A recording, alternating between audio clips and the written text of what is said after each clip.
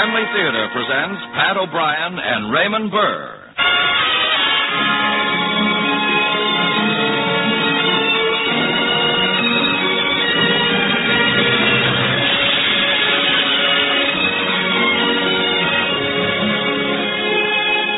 From Hollywood, the Mutual Network, in cooperation with Family Theater, presents Raymond Burr as Andrew Hamilton in the story of Peter Zenger. To introduce the drama, your host and narrator, Pat O'Brien.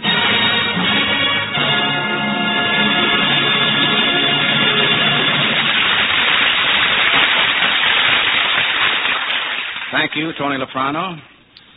Family Theater's only purpose is to bring to everyone's attention a practice that must become an important part of our lives. If we are to win peace for ourselves, peace for our families, and peace for the world, Family Theater urges you to pray. Pray together as a family.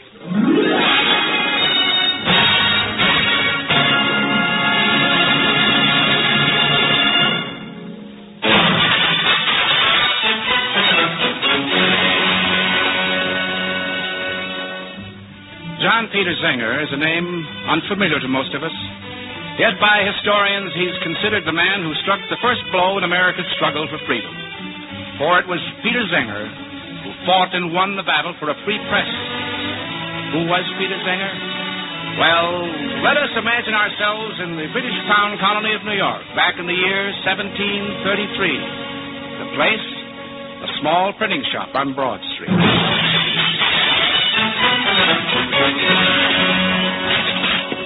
Anna! Anna, where are you? What is it? Why are you. Anna, this time Governor Cosby's gone too far. Now what has he done? He has removed Lewis Morris as Chief Justice. Oh, oh no. But there aren't there regulations or rules or something that prohibit such action? Cosby makes his own rules, and the legislature's afraid to oppose him. Justice Morris tempered his decisions with justice and wisdom, and for that he's removed from office. And worse, nothing will be done about it. But surely something can be done about it. What? Well, bring the facts to the people. And just how? My dear, why don't you publish a newspaper that's not dependent upon the governor's patronage?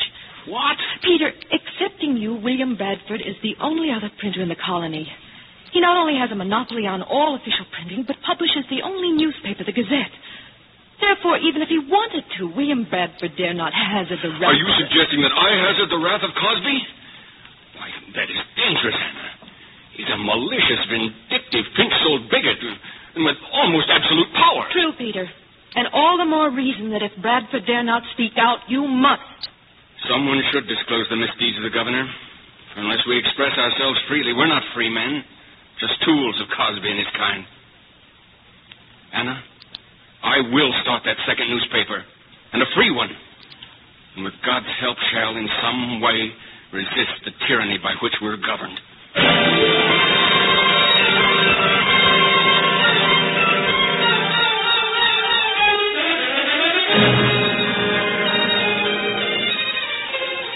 And so on November the 5th, 1733, appeared the New York Weekly Journal, containing the freshest advices, foreign and domestic. It was small, as newspapers go, but spoke truly and fearlessly. Scarcely had the first copies appeared on the street when William Smith and James Alexander, two of New York's most brilliant barristers, sought out the small print shop on Broad Street. Yes, gentlemen? I am James Alexander, and this is William Smith. How do you do? Mr. Zenger, you've done a great service in publishing the weekly journal. Thank you, Mr. Smith. And may I add my congratulations? New York now has a true voice of the people. You're very kind, Mr. Alexander. Mr. Zenger, by criticizing Cosby, you placed yourself in great jeopardy. No doubt the governor is very angry. And so, my friend, Smith and I have come to offer our aid. If and when you have need of legal counseling or representation in court, you may depend upon William Smith and James Alexander.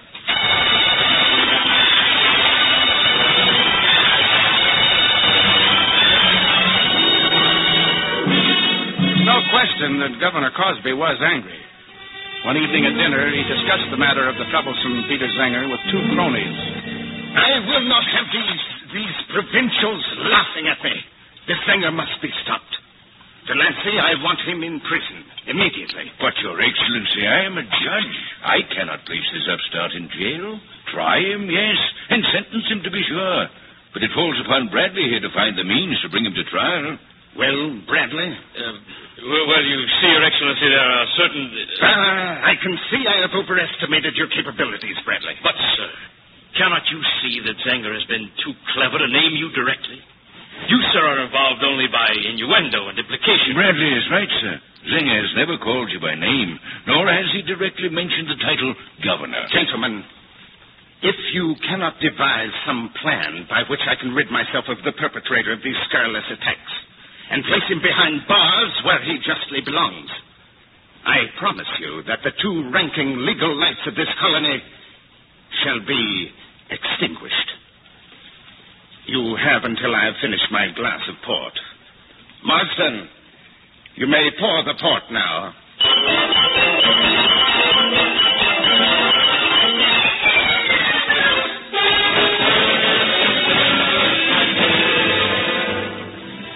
Well, the two ranking legal lights continued to burn brightly, for the time being at least.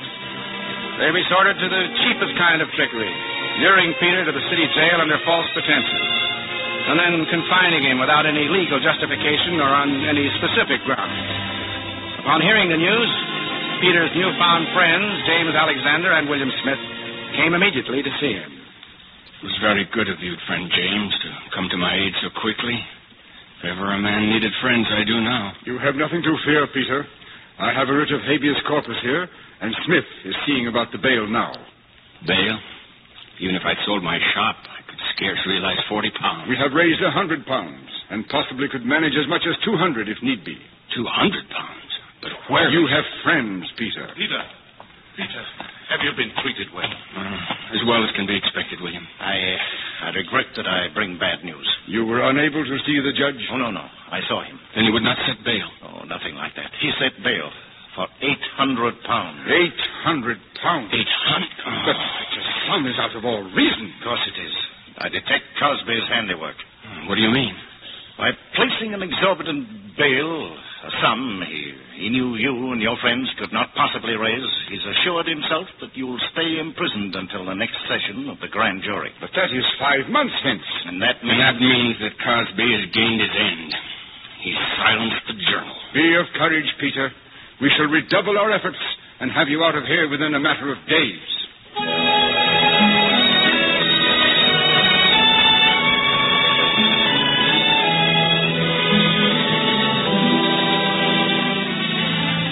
But Alexander was overly optimistic. So Peter was immediately placed in solitary confinement, where he languished for six weary months.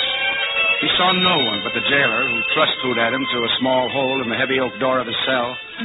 Eventually, however, Anna was permitted to speak to Peter through that same small hole. Oh, my darling. What have they done to you? Anna. Anna, my dearest. Oh, Peter. Now, there. Now, I'm quite all right. No tears, please. But to see you penned up like, like some beast. That unspeakable Cosby. We must strike back. We must continue to print the truth. We must go. Anna, you forget I'm in prison. Without me, there's no one to set type or write editorials. But we must do something. The only thing I can do is to promise to cease publication. And surrender to Cosby? Never. I shall continue publishing the journal. Anna.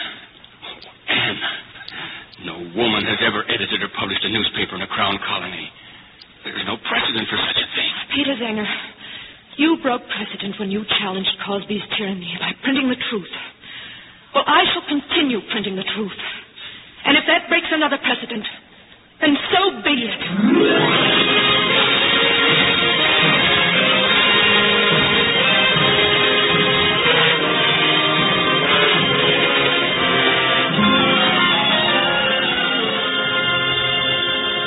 And so, at 29 years of age, Anna Mullen Zenger became the first woman newspaper editor and publisher in the world. Every Monday, the journal appeared on the streets. Meanwhile, despite the heroic efforts of Smith and Alexander and many others, Peter lay in prison until late January the following year. But, Your Excellency, what else could we do but release Zenger? Grand jury found nothing against him and ordered his release. And we shall return him to prison And- on another charge. And that charge? The charge matters not just as long as that impertinent fellow is kept behind bars. But, Your Excellency, keeping Zenger in prison did not serve its purpose. No, the journal continued publication, and if I'm any judge of character, will continue to do so as long as that woman is... Fools! Do you not comprehend the reasoning behind my insistence in keeping that meddlesome bounder in jail? Feeling against me runs high at the moment. A feeling spawned and nurtured by Zenger's infamous lying sheet. True, sir. If I should be so unwise as to directly attack the female that now compounds and prints these lies, then I shall... Yes, yes. Then you would increase the prevalent sympathy for Zenger and make your own position more untenable. Untenable. Delancey, I am the governor of this colony. No one makes my position untenable. Your pardon, Your Excellency, I regret my ill choice of word. Your Excellency, what is your reason now for keeping Zenger imprisoned? A simple one, but it shall prove effective nevertheless. I have observed that females are sentimental creatures whose maudlin affection outweighs their reason. No doubt during these past few months, that Zenger woman has been sorely tried. Now, if Zenger is suddenly returned to prison and held incommunicado, the blow will prove too great. And like all females, the Zenger woman will be plunged into the depths of despair. I'm beginning to understand, sir. A few days, and then she comes to me. I ponder the matter, then graciously release her husband, providing that he dismantle his press, scatter the type, and voluntarily exile himself from the colony. Bravo! You not only rid yourself of this nuisance, but by releasing the fellow, win the acclaim of the colony by your generous act. Exactly. Stroke of genius, Your Excellency. Uh, but by what means do you remand Zenger to prison? Uh-huh, that is the crowning touch. He shall be rearrested at once and charged by information. But, sir, surely when we come to trial... I have anticipated that. For a few pounds, we can secure depositions, worded in any manner we choose. Now, if it so happens that these depositions are signed by uh, seamen, it would be most convenient that they are at sea when Zenger's trial takes place. And obviously, then they could not be cross-questioned. Oh, excellent, excellent. My congratulations, sir. This surely will be the end of Peter Zenger and his noisome journal.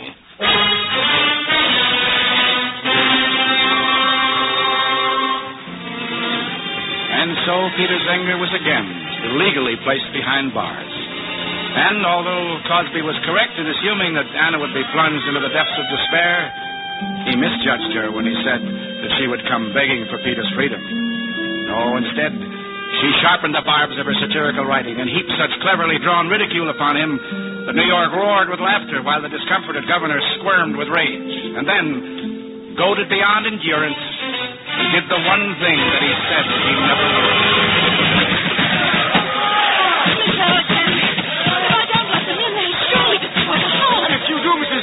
They shall destroy the press. What can we do? Hold them off as long as possible. Here, help me move this table the door. There. Just to me here. What has happened and is getting aid. If only you can return in time. Any moment now. Stay back! Get against that window! Over here, Mrs. Zenger! Over here, by the... James! James Alexander! Open up! One moment, William! Are you all right? Oh, Miss, Mrs. Zenger, here, you'd, you'd better sit down. Yes, thank you. You arrived just in time, William. Another minute or two. Oh, let's not speak of that. Everything's all right now. You're safe, and our friends are in pursuit of the scoundrels that attacked here. But Why should anyone? Mrs. Zenger, I'm afraid that Cosby has... The governor. Why, surely he'd not stoop. to- There's nothing too low for Cosby to attempt, if it gains him a desired end. Now, tonight's work is without question his doing. William speaks the truth. But tonight's incident may prove a blessing in disguise. What do you mean? Now that violence has been attempted upon you, I am certain that the grand jury can be urged to meet in extraordinary session. If so, possibly Peter's trial may take place sooner than we had hoped.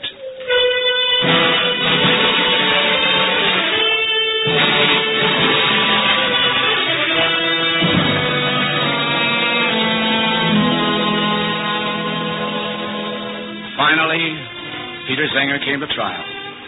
An item in the journal filled the courtroom with his well wishes. And they and the governor's group were due for a surprise. For Anna broke yet another precedent, insisting on sitting at Peter's side. Justice Delancey nodded to Attorney General Bradley to read the charge. The province of New York charges that the defendant, John Peter Zenger, did willfully and maliciously print in one newspaper, to wit, the New York Weekly Journal, false, seditious, and libelous statements against the governor and representatives of His Majesty the King. This court is convened for one purpose only for the jury to decide whether or not the said defendant did print and cause to be published these falsely libelous statements against the government. If so found, the jury can find but one conclusion guilty as charged. We will have quiet, quiet. This is a court of law. Proceed, Mr. Attorney General. Your Honor, there is no need to further waste the court's time. The defendant did publish, which is a known fact, various falsely libelous statements against the duly constituted government of this colony. Having so published, which the defendant cannot deny, the jury can reach but one conclusion that he is guilty. The crown rests, Your Honor. The defense is represented by counsel. Yes, Your Honor. You may proceed. Thank you, Your Honor. But first, if it please the court, I would like to read a statement. Does it pertain to this case? It does, Your Honor, vitally. Proceed. It is a letter from London, from Lewis Morris, and states states that the King has never approved Justice Morris's removal from the bench, and that your appointment by Governor Cosby was made without the necessary consent of the council. Therefore, my colleagues, and I charge that you occupy that bench without legal authority, and are not properly qualified to conduct this trial. Oh, Order! The bench will not accept your charges, sir. For it is obvious that you thought to gain popularity by opposing this court. But you have brought it to that point that either we must go from the bench or you from the bar. Therefore, we exclude both you and Mr. Smith from the bar and deny you the right to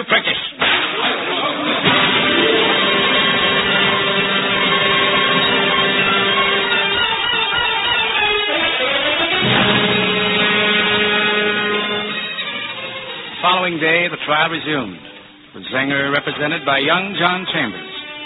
The Attorney General was forging the final link in the chain of evidence against Zenger in his address to the jury when suddenly. Please, the court. I agree with Mr. Attorney that government is sacred. But I differ when he would insinuate that the just complaints of men who suffer under bad administration is libel. It's here. He did come. Andrew Hamilton from Philadelphia. But how did he? I wrote and asked him to come, Peter. The greatest living advocate in America here. I am old and infirm, Peter Zenger. And I have journeyed from Philadelphia because I cannot be free if another man's freedom is in jeopardy. Will you accept me as your counsel? Gladly, Andrew Hamilton, gladly. Then, Your Honor, I ask leave to address the court. As you know, are the defendant's counsel, you may address the court. Thank you, Your Honor. It is with considerable amazement that I have noted. Your Honor, Mr. Hamilton's statement of a moment ago is absurd. According to the laws of Charles I, any criticism of an officer of the government is libel, whether true or false. If you have brought witnesses here only to prove the printing and publishing of these alleged libels, we acknowledge that. Uh, Your Honor, The indictment against the defendant stated that he had printed and caused to be published certain false libels. It then follows that the prosecution is also calling the truth a libel. Mr. Hamilton, have a care what you say, sir. Certainly, men in authority are not exempt from adhering to justice. It is the governor's duty to be just. And if he abuses this privilege, must every man injured remain silent? Must every man be jailed as a libeler for the mere telling of his sufferings to his neighbor? The law is clear, Mr. Attorney. A libel might be a libel even if true. But in this line of reasoning, the bench will not entertain such argument. As you wish, Your Honor. But I trust that the bare printing of a paper will not make a libel, or my client a libeler. For the words themselves must be libelous, that is, false, scandalous, and seditious, or we are not guilty. If the Attorney General can prove the statements that we have printed to be false, I will admit that they are scandalous, seditious, and libel. But we will save him the trouble by proving that the statements made in the defendant's newspaper are true. Mr. Hamilton, let me remind you that we are not convened to determine the truth or falsity of the defendant's statements, but only whether they were printed. I understand, Your Honor. However, if I am unable to prove or disprove or even discuss the truth or falsity of my client's statements, there is only one course left to me. Your Honor, may I address the jury direct? Proceed, Mr. Hamilton, but confine yourself within the limits and purpose of this trial. Thank you, Your Honor. Gentlemen of the jury, it is to you we must now appeal for witnesses to the truth of the facts that we have offered and are denied the liberty to prove. The facts which we offer to prove are notoriously known to be true, and therefore in your wisdom and justice lies your present and future safety. As we are denied the giving of evidence to prove the truth of what we have published, I beg leave to lay it down as a rule that the suppressing of evidence ought to be taken as the strongest evidence. Mr. Hamilton, you'll try the patience of this court beyond all endurance. Peter Zenger has exercised the right that all freemen claim. The right to publicly remonstrate the abuses of power in the strongest terms. To put their neighbors upon their guard against the craft or open violence of men in authority. Gentlemen, gentlemen of the jury, remember, it is your duty, and not the judges, to determine what was or was not a libel. This is not the cause of a poor printer, nor of New York alone, which you are now trying. No. Your decision may, in its consequences, affect every free man that lives under a British government in America. Gentlemen, you must decide for the best cause, the only cause, the cause of liberty.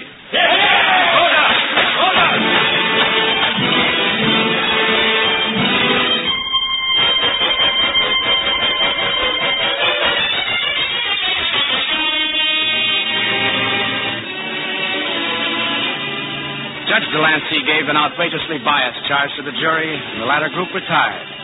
And thus to twelve good men and true came a supreme moment, for upon them rests the fateful decision of whether in prosecution for criticism of a public official, the jury or the judge decides the law and the facts. We, the jury, find Peter Zenger not guilty.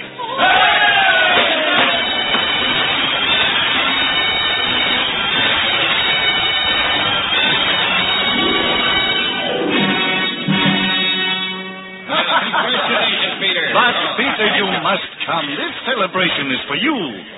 Yes, and for Andrew and Hamilton. Go on, Peter. A celebration is due you. I shall wait here at home. Gentlemen, gentlemen, I, I deeply appreciate the honor, and I'm aware of the sentiment that prompts your generosity, but, but I, I would like to. To be with your wife.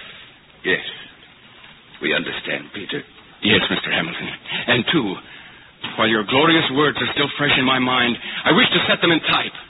For tomorrow, the journal publishes its first special edition.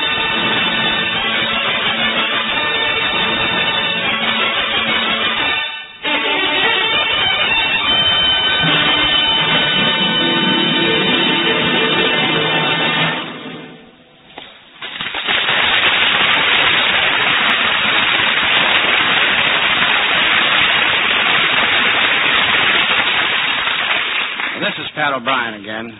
You know, each week we receive letters from listeners, well, all over the country. And these are a never ending source of pleasure to all of us associated with family theater. Last week, however, we received an unusually beautiful letter. It so completely sums up the entire purpose of family theater. Well, we'd like to share it with you. Last night, my husband should have been studying his physics, and I should have been mending his socks. Instead, we were listening to the radio. Secretly, I was worrying. Will he be called to the service? Will we ever be able to have a home of our own? How much will it cost for a nice chicken for Christmas this year? Then suddenly I was aware of a friendly, calm, quiet voice saying something about prayer and God bless you. It was the family theater program. For a few still moments, I was aware of the most important kind of peace in the universe the peace of God, which passeth all understanding. You people on the family theater were very close to me. You were among my dearest friends, my most loved. And somehow, we were all with God. For a moment, I felt certain that the world isn't going to the dogs after all. The outworn proverb that says it's always darkest before the dawn seemed true. You made me feel that perhaps the dawn is just an hour away. Perhaps the world's distress is a kind of spiritual labor pain. And in a while, with faith and God's help, all the pain will turn to joy. We'd like to take this opportunity to thank the writer, and we hope that our program will mean as much to you as it did to her. And that you too will experience what we mean when we say, the family that prays together stays together. More things are wrought by prayer than this world dreams of.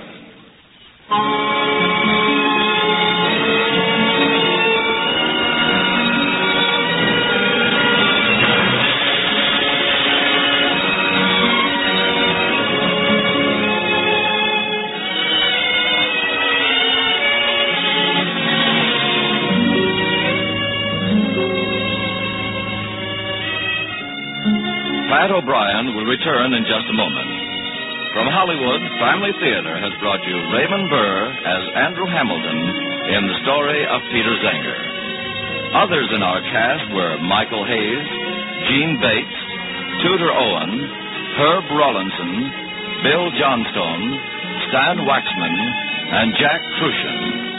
The script was written by Robert Turnbull, with music composed and conducted by Harry Zimmerman, and was directed for Family Theater by J.F. Mansfield. And once again, here is Pat O'Brien. Family Theater is made possible by the thousands of you who felt the need for this type of program, and by the Mutual Network. We of the entertainment world enjoy appearing on these Family Theater broadcasts. Now, next week, starting one half hour earlier than our usual broadcast time over many of these stations, you will hear a full hour program marking the great American holiday, Thanksgiving Day. And appearing on this special broadcast will be Ezio Pinza, Ann Blyth, Richard Widmark, Jo Stafford, Marina Koshetz, Ann Jameson, Rod O'Connor, James Alexander, and myself. This program will be presented by the Family Rosary. This is Pat O'Brien expressing the wish of Family Theater that the blessing of God be upon you and your home, and inviting you to be with us next week, one half hour earlier for the Thanksgiving hour. Join us, won't you?